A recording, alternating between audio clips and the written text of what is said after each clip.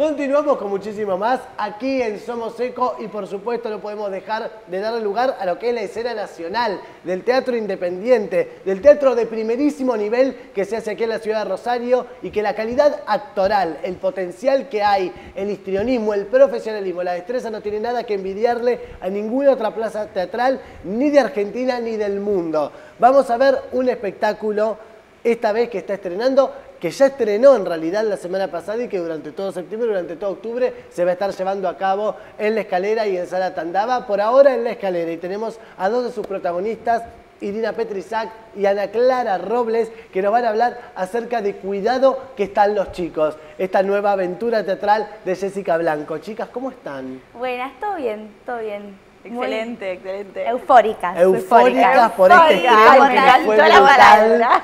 Quedé azorado con lo que vi en esa obra, chicas, y te vas a enterar por qué. Un poco en esta nota y después vas a tener que ir al teatro, por supuesto. Cuénteme un poco, ¿cómo fue meterse en la piel de todos estos chicos, que es un poco de lo que trata la obra? Arranquemos por ahí mejor. Cuéntenle a la gente de qué va toda esta aventura. Prefiero que lo digan ustedes. Eh, la obra trata de... Eh, sí, siete chicos. Así es. De entre 4 y 5 años que juegan en el depósito de su edificio.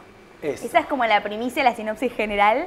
Y bueno, íbamos viendo, digamos, un poco de sus sueños, de lo que van haciendo, cómo son ellos, digamos, un poco también de su familia, así que más que nada. Así es, así es. Sí, sin spoilers, por supuesto, pero em, sí.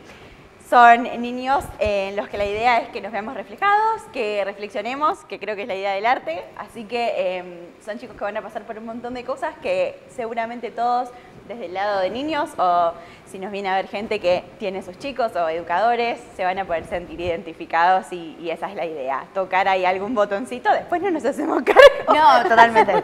tocar alguna fibra emocional, les digo que además de que nos vamos a reír y vamos a disfrutar y nos vamos a quedar maravillados con lo que estamos viendo, también vamos a llorar.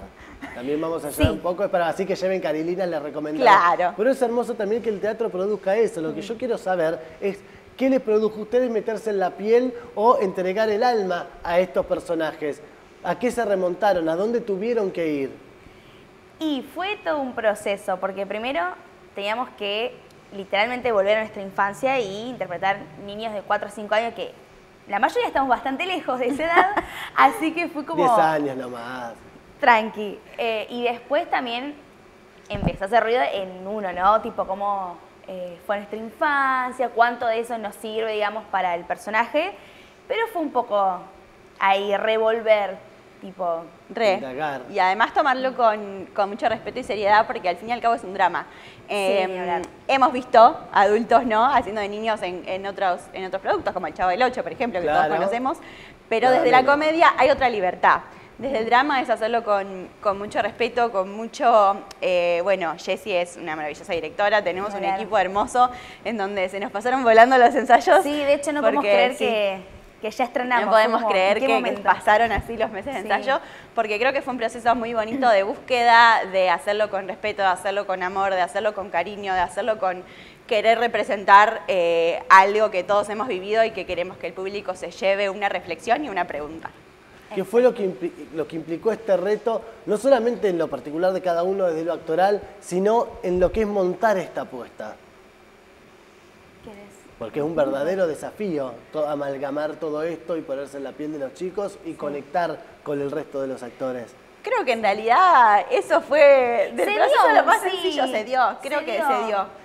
Las, estrellas a veces se alinean y surgen proyectos y grupos así en donde eh, fluye. Es más, yo me acuerdo que el primer ensayo em, fue hermoso, bueno, después de las lecturas, ¿no? Y eso, pero el primer ensayo en el, en el espacio, digamos, eh, hicimos como no sé cuántas escenas seguidas así de la nada, em, porque creo que fluyó mucho. Fueron energías, bueno, también es, es gracias a, ¿no? A, haber puesto el ojo en, castear a cada uno para, su personaje y todo de, parte de Jessie. Ese ojo justo decís, este personaje te queda a vos, sí. Pero creo que fluyó, fluyó. Sí. fue creo que literalmente lo más fácil, el resto fue ya lo técnico y bueno, ver justamente esto de que como es un drama, de no quedar como una parodia de niños, Claro. Y, pero fue eso, tipo, puro técnico, más que la energía fue literalmente fluyó. Fue como, bueno, conectamos, listo. Jugamos, a jugar, literal. Literalmente, esa fue como la consigna, tipo, ya está la letra, ya están las marcaciones, bueno, ahora no piensen, hagan en base a lo que ya tienen. Es que justamente de eso se trata también el teatro. El teatro es jugar y nosotros cuando actuamos muchas veces estamos jugando como juegan los niños. Y se está invocando también esa inocencia en donde los niños fluyen directamente, no están pensando, pergeniando en el juego. Juegan y ya. Ahora, hablando en este juego del teatro, que está muy bien dirigido, por supuesto también, quiero preguntarles por la directora, Jessica Blanco, que tiene una prolífica trayectoria en el teatro de aquí de la ciudad. ¿Qué implicó trabajar con ella, con Jessica Blanco? Jessie, la verdad que es muy buena como directora, ya te digo, ella tiene el ojo para los personajes increíble. Nosotros a veces nos asombramos y es como, sí, muy buena elección. Aparte, eh, para esta obra también eh, estamos un par ya de, los viejos, como quien dice, y un par de los chicos que son los nuevos, y también que no los conocía y fue como, mira, muy buena elección. Y tiene, Jessie tiene bastante pedagogía y es muy dinámica y todo, así que... Además es, muy humilde. Yo la admiro mucho porque ella es muy humilde, nunca te va a decir como...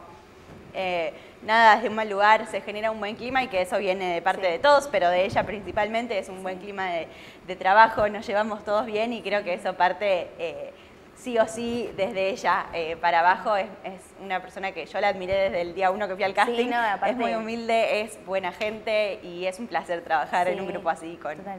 Aparte es muy talentosa, o sea, es como por ahí uno la ve que cuando nos dirige por ahí más escenas particulares, que hay un par que estamos afuera, y es como, wow. Surge, me sigo asombrando de tu talento, es increíble, como es un privilegio, la verdad. Te, toca el botoncito y te hace surgir. Sí, no, pero aparte genera ya un clima eh, en cada obra con cada elenco que es re lindo. O sea, uno va a, a, ensayar a trabajar como muy tranquilo, literal poner el foco en lo técnico, porque el resto está todo, todo excelente, sí. Así también se ven esos, esos resultados también. Ahora, si bien es bastante, bastante insólito ver este tipo de puestas en, en la ciudad de Rosario, les pregunto a ustedes qué fue lo más insólito que le pasó a lo largo de todo este montaje. A ver. Sorpréndanos.